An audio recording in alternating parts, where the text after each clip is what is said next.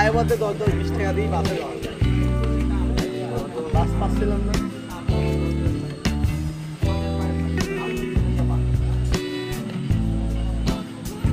আসো।